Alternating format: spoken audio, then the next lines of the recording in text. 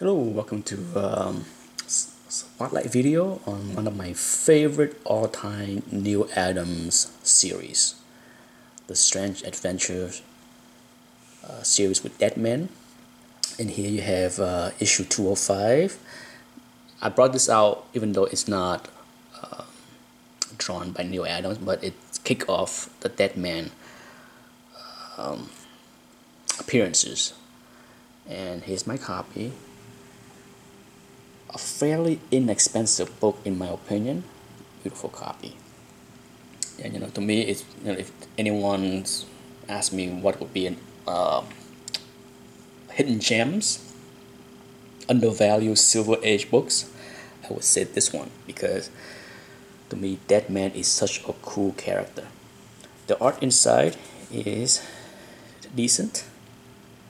The origin of, of Deadman is pretty good. Uh, I'm not sure if I will load this video before my yeah, my video that uh, showcase this book in the first appearance rating but it's a decent story. I enjoyed it. Short but good. And um, you have Carmine Infantino as the artist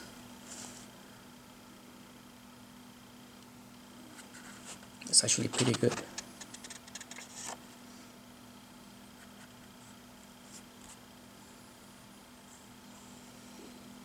Of course, Neal Adams make everything look much cooler, you know, but uh, you have to tip your head to Carmine Infantino to create the characters. Just look at that.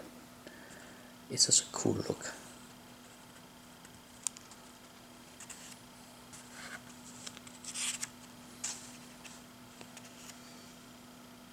There you go. That's his death right there.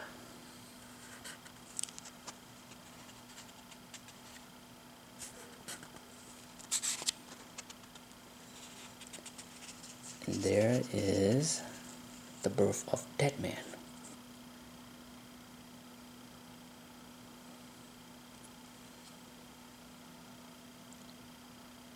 and that's the first time you see um, the showcase part of his power as he was able to take over someone else's body.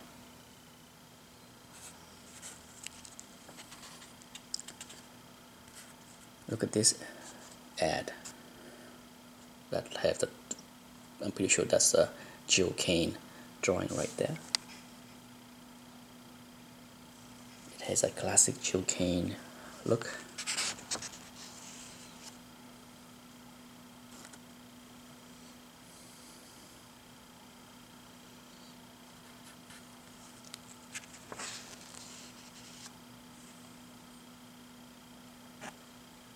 I will show um, because I love this series so much. I will instead of just show um, all the books of this run um, in one video. I will flip through every book just to uh, show the beautiful work inside by the young, or very young Neal Adams. So that's it. So, and here is the first time Neal Adams, the next issue, issue 206. This is my beautiful copy. I bought this one from a collector that de-slab it. This was a 9.0 in a CGC slab. He took it out of the slab. Neal Adams did not do the cover. But, okay, uh, as you can see, uh, if somebody de-slab the book, I keep the microchamber paper inside. No need to throw it out. Now this book is inked by I believe George Roussos.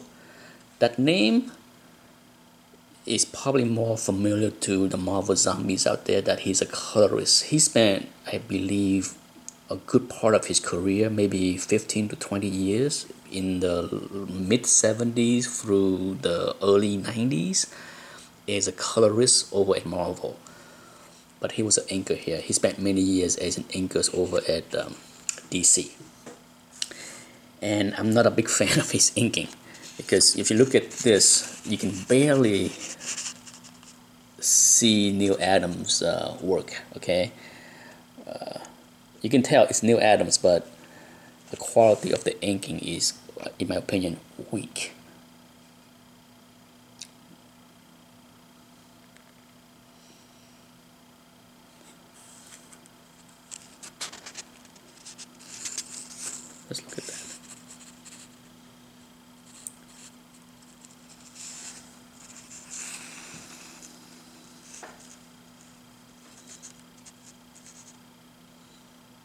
the panel layout, the action, the angles of the drawing, the, the characters are all well, very well, but as you can see, the inking is just really spotty, very crude, in my opinion.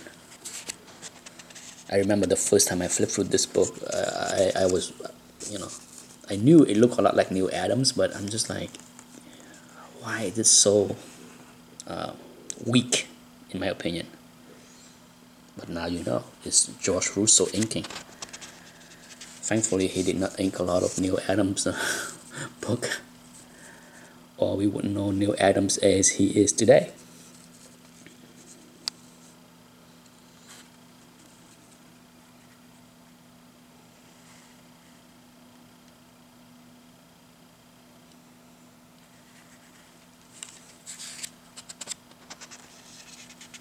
Neal Adam is one of those you know artists that even at the get go, at, at his early days, he was I think have a very good eyes for panel layout, storytelling. So it's, it's really good, a very good flow. You know, some artists struggle with the story flow, but look at that, beautiful. It's just too bad that uh, he didn't have Dick Giordano do the inking or he inked himself. Neal Adams end up inking a lot of um, the later books of this series. So as you can see, as, as you will see in the next book that the improvement is night and day.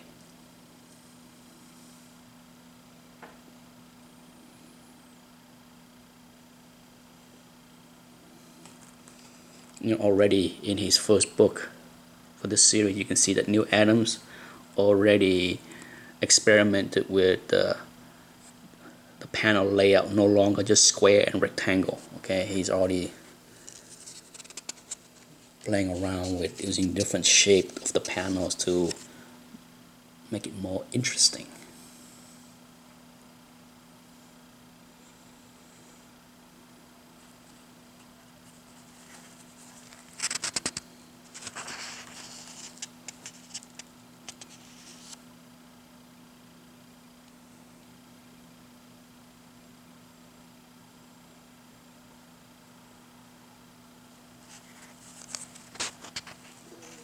The end of that. Some uh, reprint at the end of this book, which we can skip over to uh, make time for other books. Okay, let's jump to issue 207, which is one of my going for going forward with the rest of the, the series as far as Neal Adams all the covers are great uh, I have a hard time picking my favorite but just look at this beautiful book beautiful drawing. I love the green. The green and the red is gorgeous. This is a beautiful copy too. I also bought this from the same collector that I bought this issue. So this was uh, a, a 9.2 I think in a slab that was uh, cracked out. Okay, here we go this, like I said, look at this beautiful splash page with Neal Adams doing the inking and the penciling.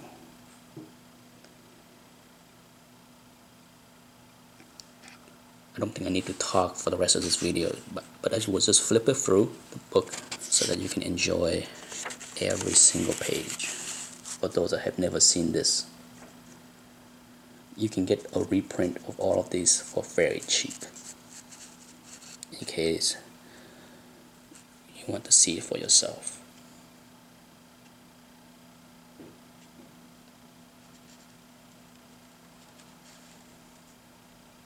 What an awesome page. Look at, the, the, look at how he designed the panels.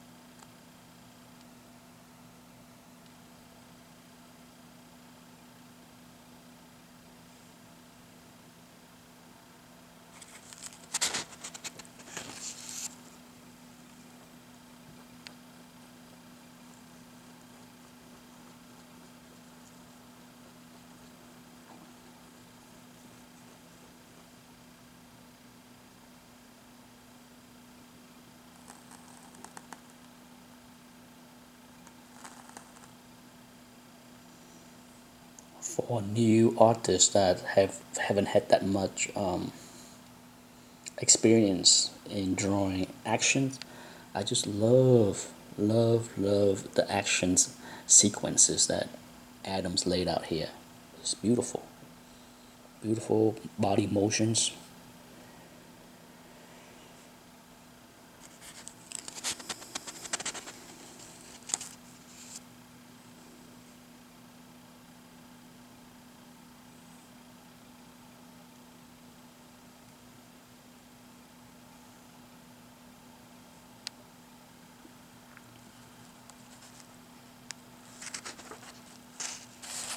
that's it. The rest is a uh, reprint.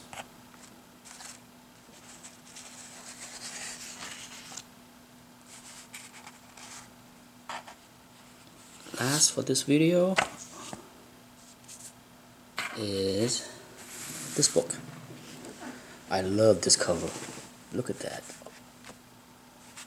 This beautiful I mean the foreground of this cover is just gorgeous. I just love how Neal Adams you know for this. The background is cool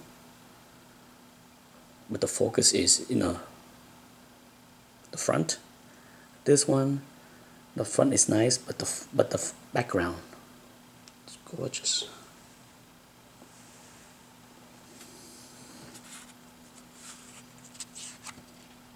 I think this might be the nicest widest copy I have just look how white the pages are. No yellowing or tanning of the interior covers. Look at that.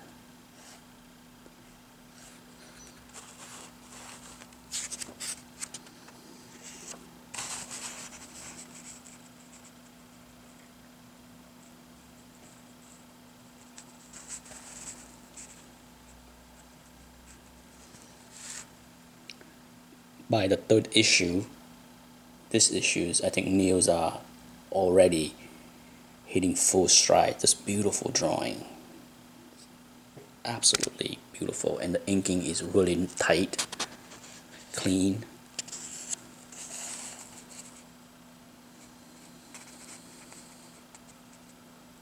Neal is a really good inker too. You know that's why you know it's not easy being an inker for Neal Adams. You know I have read. Uh, many stories over the years from many artists that um, try to work with Neal Adams and uh, Neal make them redo the work or Neal redid their work. I think Bill Sienkiewicz is one of those inkers that worked with Neal in the past and he said Neal was pretty tough. He has high expectation and he has you know he has a look that he he know what he Neal knows what he wants as far as his pictures, his drawing. He know what the end result should look like. So, you know, if you deviate from what he wants, uh, you're gonna have to redo it.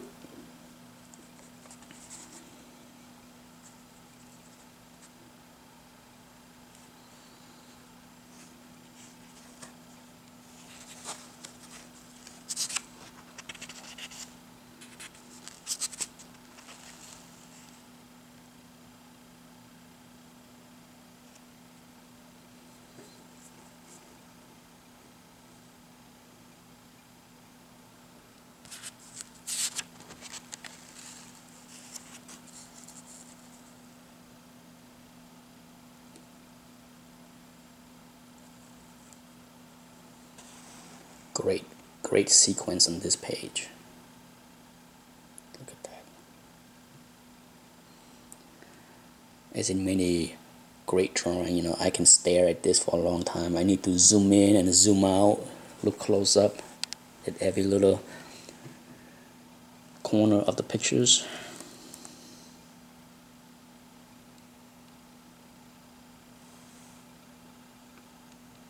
Let's look at that wind up for the punch and here you go. Gorgeous. Only Neal Adams can throw such a beautiful dynamic punch like that. Very different from Jack Kirby okay? Neal style is not anywhere like Jack Kirby when it comes down to dynamic action I think. They both master in their own ways. Just look at this beautiful. My goodness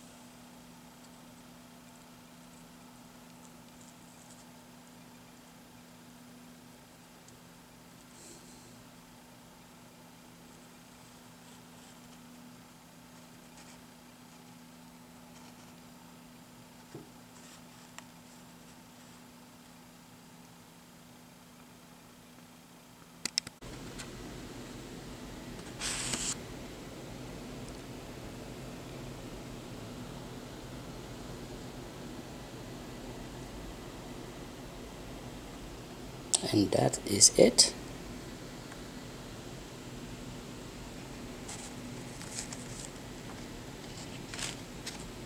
I hope you enjoyed the video and I will try to make uh, at least one or two more uh, video for this series to uh, showcase each book individually.